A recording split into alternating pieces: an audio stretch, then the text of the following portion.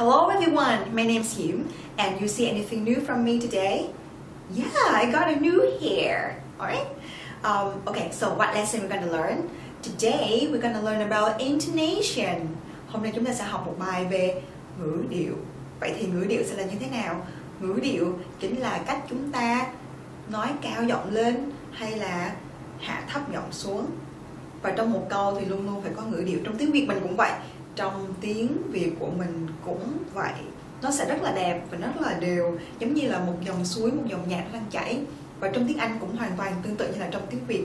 Trong tiếng Anh, intonation người ta còn nhấn mạnh và chú trọng nhiều hơn cả. Và chúng ta đã biết nhé, khi mà một thông tin đã kết thúc, một câu đã kết thúc, thì giọng chúng ta sẽ như thế nào? Yeah, giọng chúng ta sẽ đi xuống. Ví dụ như là, tôi đi học. Rồi, chỉ kết thúc vậy thôi, tôi đi học chứ mình sẽ không nói là tôi đi học. Nghe sẽ rất là kỳ, bởi vì thông tin chúng ta đã kết thúc rồi. Tiếng Anh cũng tương tự như vậy thôi. Diễm sẽ cho các bạn một ví dụ. Hiểu đó. I bought a book. Giọng đi xuống này. I bought a book. Mình sẽ không đọc nó là I bought a book. Bởi vì khi mình đọc I bought a book, nghĩa là thông tin của mình chưa có kết thúc và người nghe sẽ mong chờ là mình sẽ nói thêm thông tin, nhưng thực tế là mình không có gì để nói cả. Như vậy thì những câu mà có hai mệnh đề trở lên và nó giúp cho, và khi câu đầu tiên thì nó chưa có kết thúc thông tin thì chúng ta sẽ lên giọng như thế nào? Chúng ta sẽ lên giọng giống như dấu ngã trong tiếng việt. Giống như dấu ngã nhé. Ngã trong tiếng việt nó sẽ nó sẽ giống như vậy. Các bạn cứ lấy tay làm theo như vậy thì nó sẽ đọc đúng thôi. Ví dụ câu thứ hai của mình. I bought a book. A book.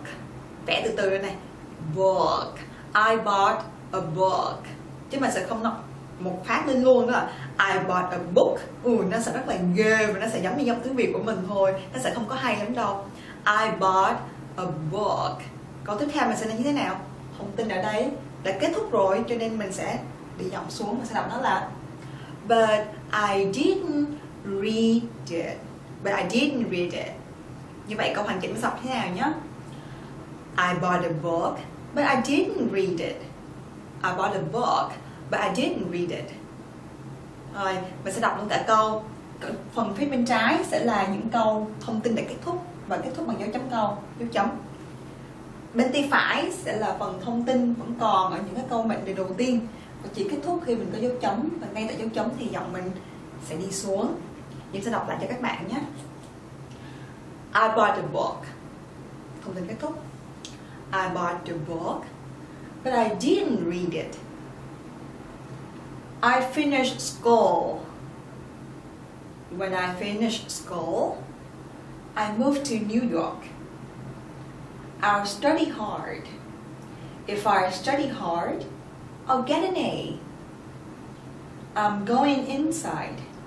I'm going inside to get something to drink. Ok, chúng sẽ đọc lại một lần nha các bạn. Chú ý là câu cuối những cái âm có dấu chấm thông tin được kết thúc giọng mình sẽ là đi xuống.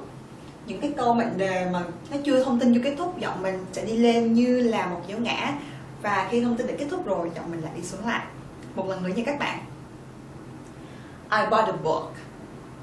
I bought a book but I didn't read it. I finished school. When I finished school, I moved to New York. I'll study hard. If I study hard, I'll get an A. I'm going inside. I'm going inside to get something to drink. Vậy là chúng ta đã một phần chia sẻ rất là nhỏ về phần intonation hay là phần ngữ điệu và hy vọng là bài học này sẽ giúp cho các bạn hình dung lên được khi mình nói thông tin chưa kết thúc thì giọng mình sẽ đi lên theo dấu ngã và khi kết thúc rồi giọng mình sẽ đi xuống Hy vọng là các bạn sẽ thích bài học này và Diễm sẽ hẹn gặp lại các bạn trong những clip sau. Thank you for your listening, and I'll see you in the next clips. Bye bye.